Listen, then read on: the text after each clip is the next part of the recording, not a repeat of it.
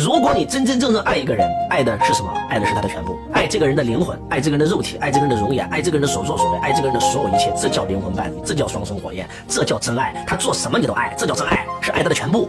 如果你对他有要求，那就不是真爱，那叫有交有要求的爱。当你真正爱上一个人的时候，你只会想你能够为他付出什么，而不是从他身上得到什么。这就是真爱和假爱的区别。写上付出是因为真爱，索取是因为假爱。付出是因为真爱，就这个人之所以愿意付出，是因为这个人是真爱这个人啊，对吧？这个人之所以去这个人身上索取，就是因为假爱。所以在座的各位一定要记住，真的就是一个字，就是爱。我们是因爱而来，到最后也会因爱而走，是因为父母之爱今晚结合产生了你。换句话讲，我们人活着的唯一功课就是什么？找到爱，成为爱，活出爱。当你真真正正理解“爱”这个字的时候，你才叫活着。一个人活着的至高境界，就是在一个爱的地方找一个爱的人做爱的事业。爱是什么？写上爱。就是你的轨道。为什么那么多人喜欢听周老师讲话？为什么周老师的视频能够点击率突破七个亿？为什么周老师成为几个亿的粉丝？很简单，就是因为周老师一开口就给别人希望，就这么简单。人是因为希望而活着嘛。在周老师这套理论里面，人人皆可成功，全世界的每一个人都可以成功，你知道吗？我们是被造物主造出来的。开玩笑，上帝不会制造垃圾啊。那换句话讲，我们是神造出来的。你告诉我，我们有没有我们的用途？周老师这套理论就一条：人人皆可成功，只是因为你没有找到属于你自己的用途。只是因为你没有找到自己的轨道，仅此而已。接下来我给你们讲一个非常非常重要的问题啊！你们现在不是碰到很多问题吗？对不对？两性关系的问题、健康的问题，这个各种各样的问题，对不对？写上一句话：问题就是答案。你遇到了一个不爱的人，你才知道你爱什么样的人啊！这这这样讲能不能听懂？上帝让我贫穷，不是为了让我贫穷，是为了让我战胜贫穷，一转身帮助那些跟我一样正在经历贫穷折磨的人。这问题既是答案啊，朋友们！想成为伟人非常简单，跳出这个时代需要的一定不是一个企业家。需要的一定不是一个商人，因为这个时代不缺企业家，不缺商人，而这个时代需要像老子这样的人，像孔子这样的人，像王阳明这样的人出现。所以我要成为这样的人，就这么简单。当下这个时代，未来三十年、五十年、八十年，不需要一个企业家，不需要一个商人，但是他需要一个开悟觉醒的人，引领众生开悟觉醒。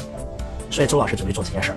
我们当下价值观紊乱，你知道吗？价值观紊乱，需要一个像孔子这样的人，需要一个像王阳明这样的人，需要一个像老子这样的人站出来。所以周老师愿意成为这样的人，这就是我的梦想。你不要小看我。就是爱这个事业，你听懂意思没有？给我写上周老师的梦想，真正的梦想。天天现在给你喊，让一家族实现财富自由、身心富足，那是我公司的梦想，那不是我的梦想。我的梦想是什么？写上众生各归其道，自行其事，自行运转。这个境界，这个格局，我们会碰到很多问题，情感的问题、财务的问题、身体健康的问题，我们碰到各种各样的问题，我们都在找答案，我们都想解决，但是我们解决不了。就一句话，全给你解决。我是一切问题的根源，爱是一切问题的答案。